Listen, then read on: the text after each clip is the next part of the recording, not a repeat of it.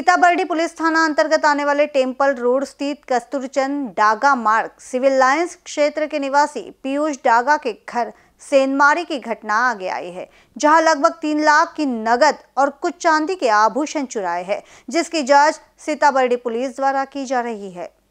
दरअसल फिरियादी कुछ दिनों के लिए दिल्ली गए थे, जिसके चलते घर को ताला लगाकर वह बाहर निकले। लेकिन अज्ञात चोरों ने बाथरूम के मार्ग से घुसकर डागा निवास में चोरी की और लगभग तीन लाख का माल और कुछ चांदी के आभूषण चुराए। फ़िलहाल पुलिस द्वारा सीसीटीवी के ज़रिए खोजबीन की जा रही है, जिसकी जानकारी दी सह पुलिस निरीक्षक संतोष कदम इन्होंने। काल दिनांक नऊ सात तेवीस रोजी फिर्यादी पियुष सूर्यतन डागा बेचाळीस वर्ष यांनी दिलेल्या तक्रारीवरून सीताबडी पोलिसांनी अपराध क्रमांक चारशे तीस ऑब्लिक तेवीस कलम चार चोपन्न चार सत्तावन्न तीनशे ऐंशी यामुळे गुन्हा दाखल केलेला आहे.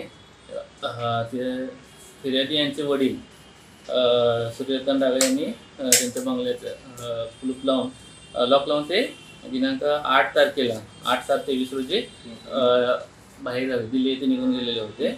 त्यावेळेस त्यांच्या बंगल्याच्या पाठीमागील बाजूस जे असलेले बाथरूमचा लाकडी दरवाजा होता त्या लाकडी दरवाजाला दरवाजा तोडून त्यामधून कुणीतरी अनोळखीसपणे आतमध्ये प्रवेश करून त्यांच्या घरातील त्यांच्या बंगल्यातील लाकडी कपाट तसेच लोखंडी कपाट त्याचे दरवाजे तोडून त्यामध्ये एकूण रक्त रुपये तीन लाख व दहा- वीस ग्रॅम चांदीचं चांदी असे टोटल एक तीन लाख एक हजार रुपयाचा मुद्देमाल हा चोरी करून घेऊन गेलेले आहेत.